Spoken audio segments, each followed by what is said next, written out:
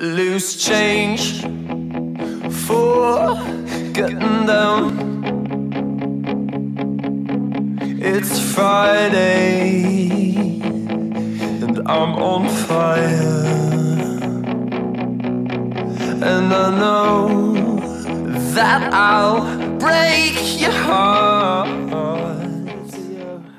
quick book discussion on The Other Girl by Erica Spindler.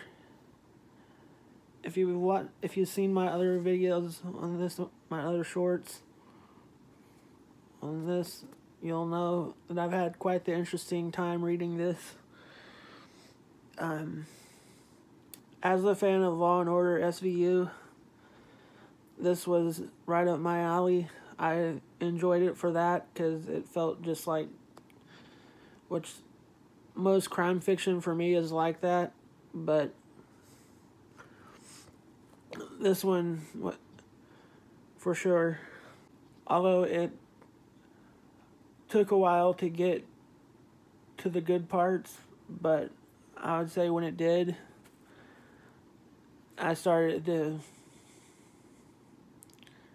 it started to hold my attention more. But um definitely not bad, but I would say I don't want to sound biased, but Karin Slaughter just writes this type of stuff better in my opinion. And it's pretty hard to top at this point. I mean, even though I'm, I haven't read very many of her books, but for me, that's just how good they were. I mean, I hate to say it because I probably do sound biased, but what can I do? um, but yeah. Anyways, I'm going to end the video right here. Um,